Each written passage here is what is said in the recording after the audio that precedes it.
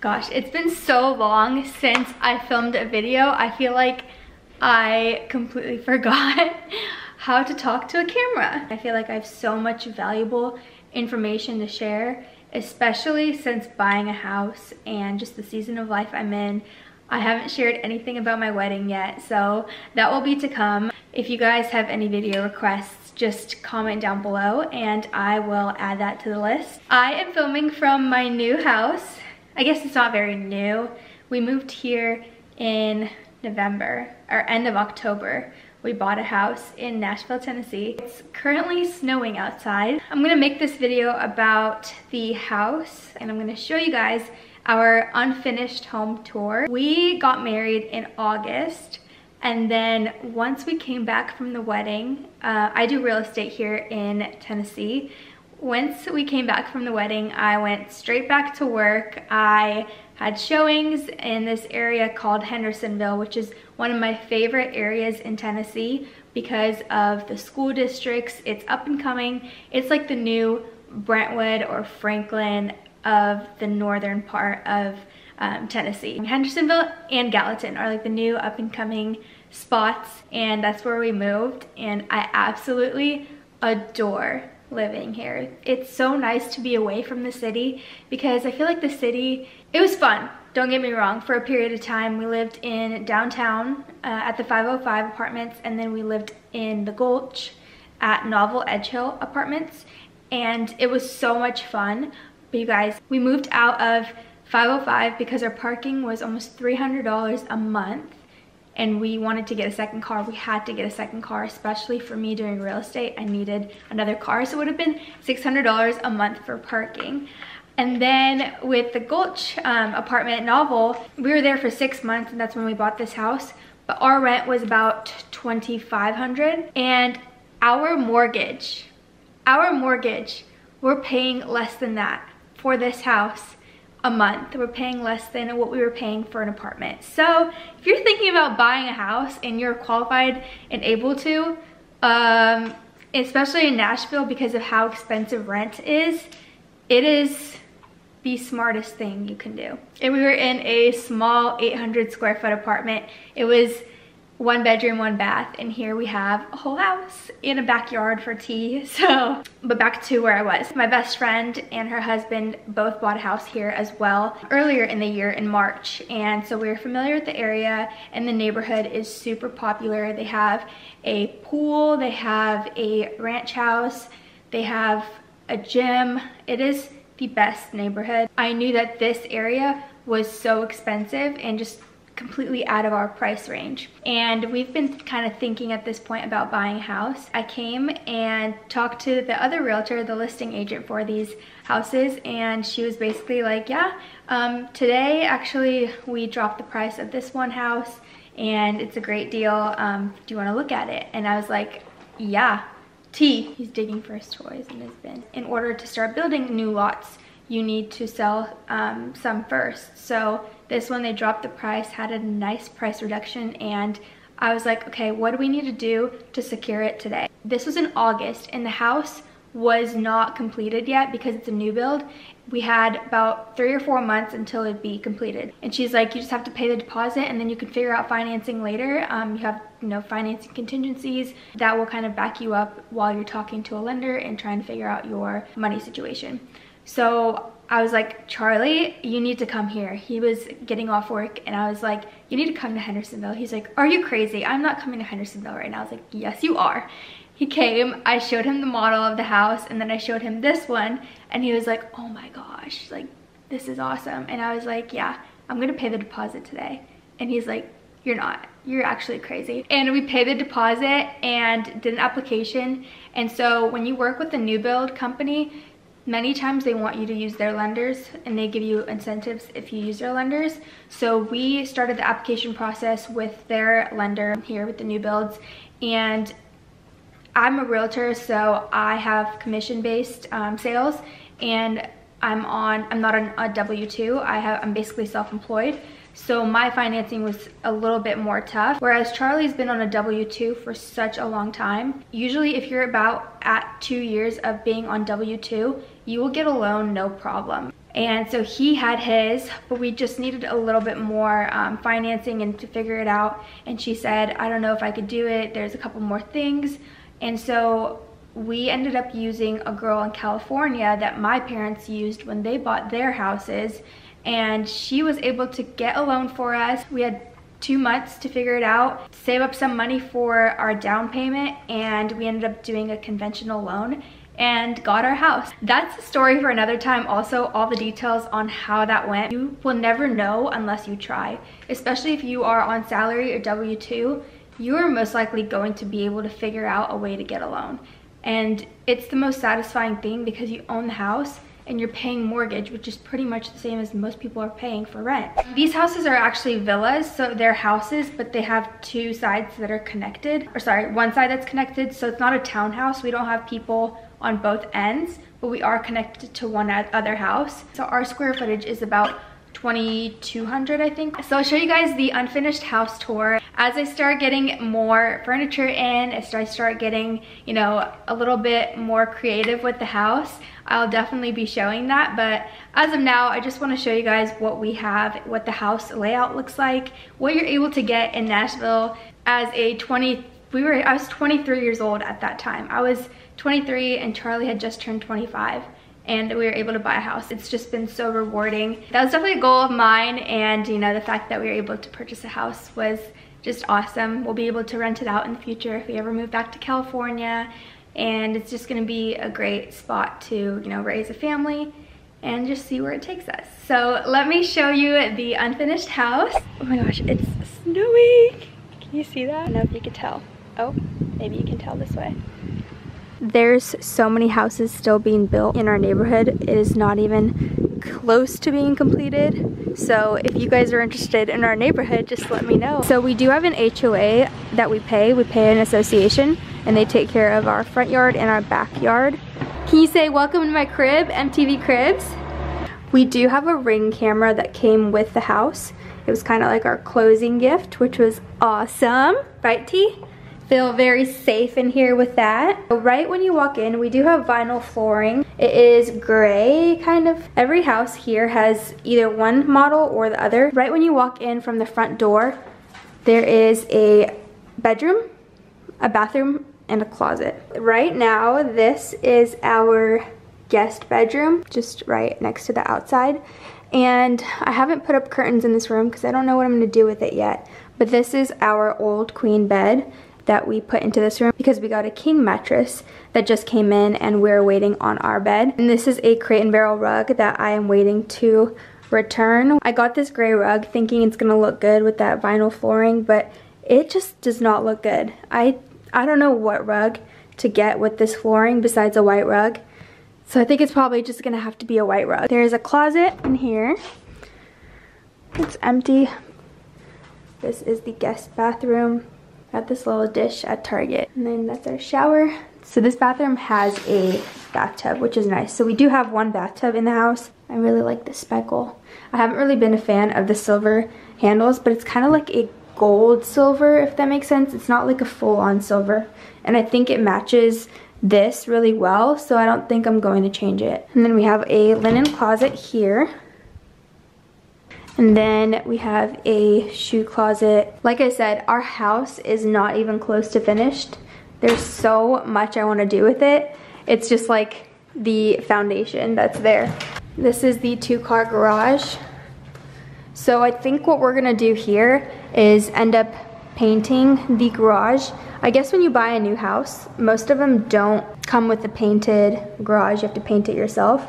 And then what we wanted to do is transform the floors into like a gym flooring and end up having a gym in here. But that's, you know, in the future. As of right now, it's just a bunch of storage. As you walk in, to the left, you have the upstairs, and then to the right, we have the office. Office is with these like double doors, which is nice. So this isn't considered a room because there's no closet in there. So technically our house is two bed, two bath, but we also have the bonus room upstairs and this room. I honestly think it feels like we have four rooms, but it's considered two bed, two bath.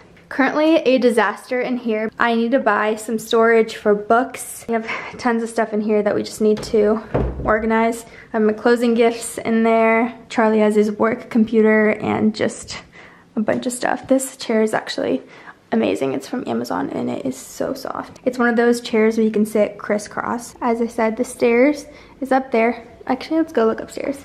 I feel like it would have been nice if there was a bathroom up here, but there isn't. I do love that they didn't put any carpet on the stairs and they just had the carpet start up here. As you can tell, our storage is here because Charlie rolled these suitcases. Oh my gosh, I'm out of breath right now.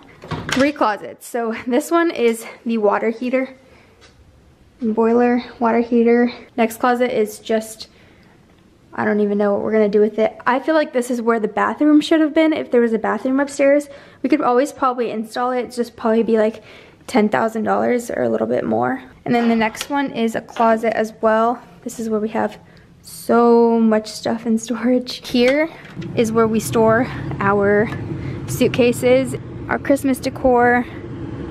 It's just all of our insulation in here, which I love that they put some plywood down and you can store stuff in here. And then this is the bonus room. I could either turn into an office and a movie room, like we can get a TV, a couch and have an office work desk in here. I do not know what to do with it yet, so if you have any advice, comment down below on what you do with your bonus room. This is very, very common with houses in Tennessee. Most of them do have bonus rooms. Ours isn't over our garage, but it's always like the front room over the garage. They call it the frog.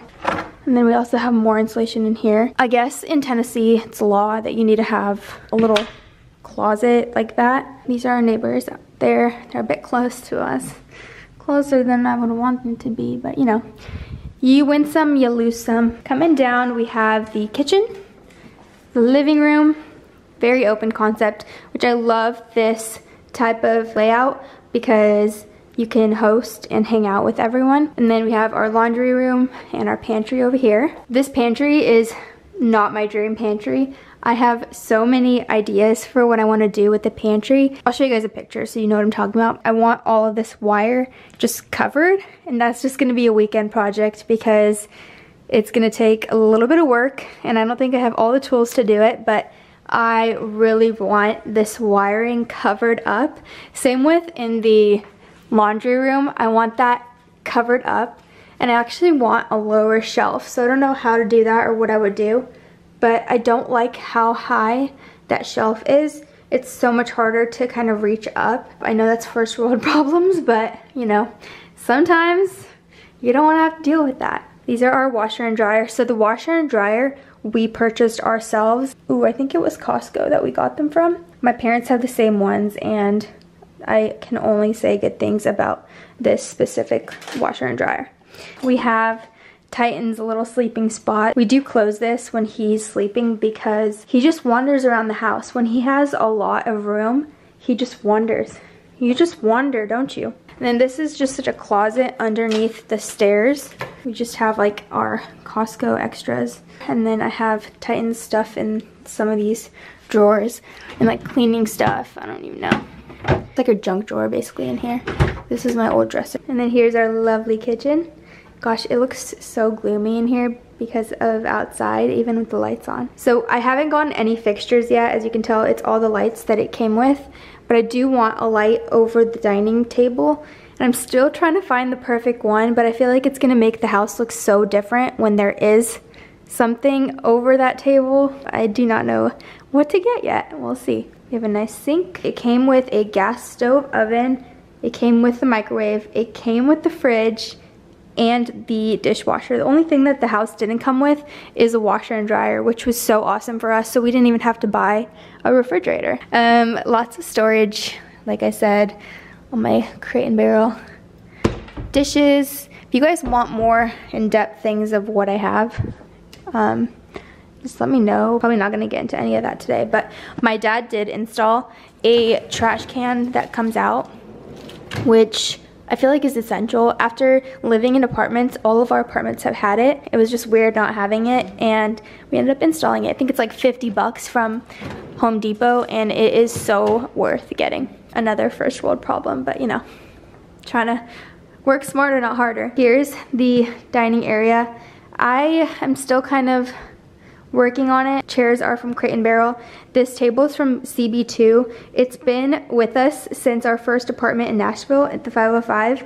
It's so tiny. I'm looking to upgrade that right now. I don't know exactly what I'm gonna get, but I feel like this area does need a circular table. It does not look good with anything else because of the way that this nook is shaped. And when you go to see the model house, they have a circle table there as well. It's from Wayfair. That's from Home Goods. I actually ended up finding a silver huge mirror and then I spray painted it myself. So a little DIY project. And then this is from Pottery Barn and this is from Crate and Barrel. And that is our living room. So we have the same couch that we have had since the 505 I think and it's from Ashley Furniture I'll link it below for you guys and it's really comfortable I just think that it's probably gonna go upstairs for the future and we'll get a new one from here. I just hate how these couches that are so soft, once you sit on it, you have to fluff it every single time and my OCD cannot with like seeing it kind of lazy and slouchy. I always want it to look like tip-top shape. So we'll probably get something that does not kind of form to when you sit on it. And then we put our TV up there and I want to get a TV stand or something below it. My dream would be to get a fireplace that kind of comes out of here, but I think that would be probably if like we had a more long-term house, I would probably do that. And I also need to hide that cord because I look at it every day and it bothers me so much. It just has to be gone, like cover. I got my curtains from Amazon. These ones are from Amazon. And then the rod is from Target. It's my favorite one. I have it in every room of the house. Walking over here is our master bedroom and our just coat closet. And we have workout equipment in there. Hey T. Hi buddy. I was honestly waiting to film this video till my bed came in because I was so embarrassed by the fact that we have a mattress on the ground. I've gotten made fun of for in my last home tour about our bed being on the ground before we got our other bed. And now look at us again, we have a mattress on the ground. This duvet is so fluffy. It's from Crate and Barrel. We got this texture. I think I got it on sale to be honest. These pillows kind of match that texture. And then we have our walk-in closet in here. That's my side. And then that's Charlie's side. This is our next project right there. This dresser I got from Walmart. Yep, Walmart. It is actually such nice quality and then I ended up switching out the hardware. I can link the dresser below for you guys, but the hardware is just from Home Depot. It's so easy and cheap. I'm pretty sure I saw a dresser like that on Crate and Barrel that, that was like a thousand dollars. Here's our bathroom. It's the same as the other bathroom matching. I do like the sink. So like I said, it's not gold, but it's not silver. They're like an in-between color. Brass? No, because brass is too dark. I don't know. I really don't know. But we have two sinks, tons of storage down below. Honestly, my organization has been rough. I went to the container store and got some organization, but probably need to do a little bit better of a job. That's our walk-in shower. I feel like they did such a good job on matching everything. The color of this matches the sinks and it just all looks good. And then there's a nice little step. And then here's our bathroom. I love that it's its own little room. You can just have some privacy in there, you know? T, are we done? Are we done with the house tour? Closing out, I hope you guys enjoyed this house tour. It is just such a cute little home. I mean, it's nothing crazy. I just am so happy that we're now paying a mortgage and we're just paying towards this house instead of paying rent and just throwing away the money. I could do a whole video on the rent versus buy process or how much money you're losing and making if you're renting versus buying. That's a whole topic I'm very passionate about. So if you guys want a video on that, let me know down below. I'll probably link some things from this video. If you guys have any other links that you want, just let me know in the comments. And if you have questions, video requests, as always, put that down below as well. Like and subscribe to this channel, and I hope that you guys enjoyed this video.